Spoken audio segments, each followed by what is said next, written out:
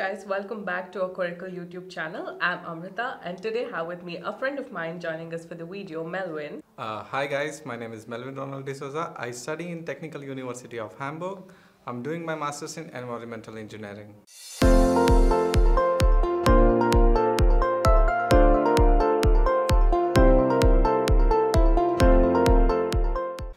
You guys would have seen our latest Instagram post where we spoke about the different types of accommodation in Germany. And also, if you're not following our Instagram channel, please make sure to follow our Instagram channel to be updated about the latest uh, lifestyle in Germany and to know more about how it feels moving to Germany. Uh, so, moving on, as I was mentioning about the accommodation in Germany, uh, today's video will be speaking more about the advantages and disadvantages uh, of the accommodations here. Uh, so the first uh, choice for most of the students will be uh, the stu- public student dorms. Uh, so let us learn more about uh, the pros and cons of living there from my friend Melvin here. The first thing you have to do as soon as you get your admit letter is that you apply to your student dorms. The way you do it is through a Studentenwerk. The pros which comes with student dorms is that you can get your uh, student dorm for the rent of 300 to 400 euros which is very affordable and you'll be socializing with a lot of international students across all over the globe. And it comes with a lot of facilities included your housing your internet and your heating. The cons which comes with uh, student dorms is that there is a lack of privacy is what i feel because you'll be sharing your bathroom and kitchen with uh, with your roommates and there's a high demand for uh, student dorms. Basically you have to apply to it as soon as possible. And the last thing is that student dorm comes with a set of rules from Studentenwerk which you have to adhere to. And one good thing from uh, getting into student dorms is that it will be very near to your university so the commuting time will be basically 10 to 15 minutes. Uh, so Melvin, talking about the high demand, were you successful in getting uh, accommodation in the student dorms? Unfortunately, I applied to Studentenwerk a little late. Till now, it's been like two semester I still couldn't get into any student dorm, so I'm still waiting for it. Actually, Yeah, in fact, so am I. I. I failed to get an accommodation in a student dorm. Talking about the second most preferred option for a student is a WG, that is a shared apartment, and these apartments you'll usually be sharing it with one or two other flatmates.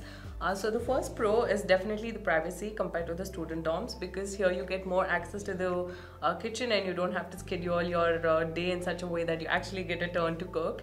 And the second pro is that uh, there are less rules compared to the student dorm, apart from the fact that you'll probably have to maintain silence in sun uh, silence on Sundays, uh, which is one of the most followed rules in Germany. And uh, also, it is more comfortable because it's located in a residential area, and usually it's um, close to the supermarkets. Talking about the cons, of course, it's going to be expensive compared to the student dorms, and the rent varies between 400 to 600 euros.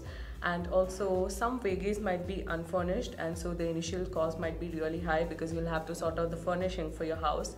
And uh, in most of the WGs, you might uh, also have to do a lot of paperwork that is, you know, setting up your electricity and Wi Fi and heating and even the radio tax. The next type of accommodation where student can apply to is private dorms, which are uh, usually owned by private organizations. The private dorms are similar to student dorms, but uh, you can have a choice of your own room or you can share it with other students, and where you can enjoy facilities like your own play area and also private gyms. The cons which comes with private dorms is that it's usually a little higher price range than your student dorms, and it might include a lot of paperwork when you are trying to uh, get a lot of new facilities like your own bed or some other amenities and it also uh, comes with a con that it might not be closer to your universities. You should have a commuting time. And also chances of meeting students from your own university will be less because private dorms will be given to a lot of universities from uh, different uh, areas Uh, so the last uh, topic of discussion today would be the accommodations in a studio apartment, also called as an Einzel apartment in Germany. And for this, it is usually uh, a fully furnished house uh, with uh, all the amenities for you. And also, you can have more flexibility uh, in terms of your preferences and habits.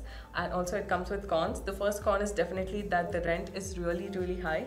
And I would suggest that for students, this should be a last option while moving to Germany. Uh, to manage your expenses, studio apartment, it's going to be really tough for you.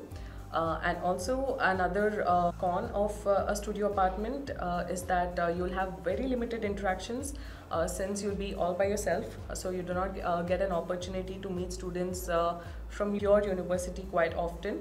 And also of course the paperwork is a lot when you move into a studio apartment because you'll have to sort out uh, the electricity providers the wi-fi pro providers and even sort out your heating. And all of this happens through a lot of paperwork. Uh, so just be careful and choose the right option for you guys.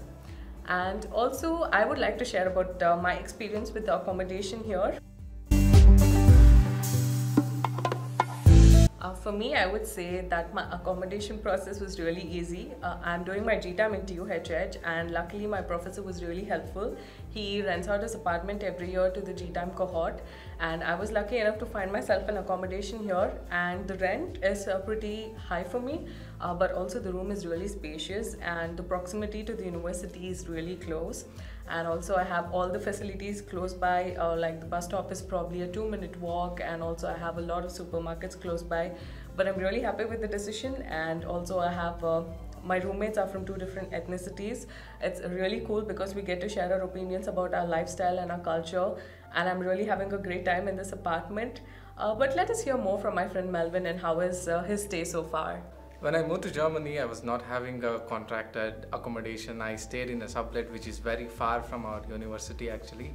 Then I could land a full-time contracted uh, WG uh, near to my university, but the rent was pretty higher. So what I did for now is that I moved a, a little outskirt to the city so that I can manage my rent. But the commuting time between to university to my house is around like 45 minutes but yeah that's about it the advantage which comes with this strategy is that you'll be paying a little lesser rent than you staying near to the university. Yes, and I guess for students, it's really important that you start planning for your accommodation really soon because in the big cities like Frankfurt, Hamburg, and Munich, uh, it's really tough to find an accommodation. So stay updated and uh, keep searching. Don't lose hope, and hope to see you soon in Germany. Thank you so much. If you like this video, click on the like button and also subscribe to our YouTube channel for more content like this. And also, if you have any questions about the accommodation, please do leave them in the comment section. We'll be sure to reply to you guys and see you soon in the next video. Bye-bye. Bye-bye.